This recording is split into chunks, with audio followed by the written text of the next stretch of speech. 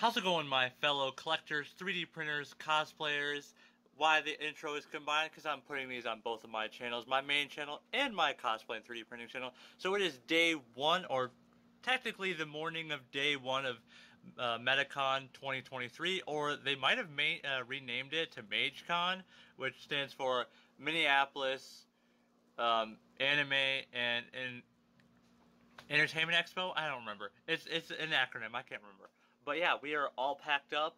Um, just gonna do a couple last minute things and then we are going to be headed up to there. Now this is gonna be a short video because this is just intro. Also I want to show you all the stuff that I packed up uh, and how I packed up because it is different than Anime Minneapolis. I've got it mostly all of my Bloodborne cosplay and the Hunter Lab in one big tote and I will show you that now. But yeah, it's gonna be an interesting time. Uh, this video is basically gonna be right till we get to the hotel and maybe the hotel room. Um, I'm not sure. It's gonna be like in Minneapolis where I basically just stop it and then I'll start day one because day one to me hasn't started until I'm there. So yeah, that's uh, pretty much it for right now. I'll see you in a bit.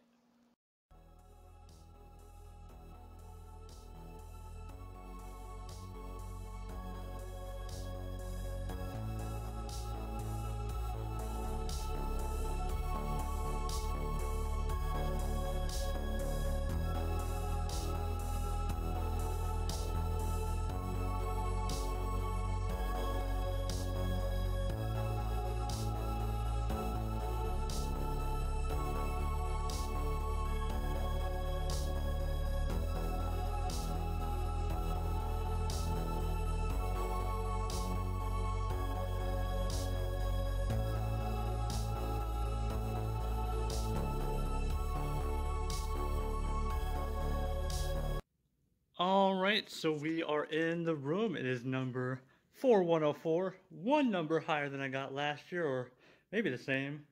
Here's the tote with all my cosplay, my food. My hands are super shaky right now, sorry.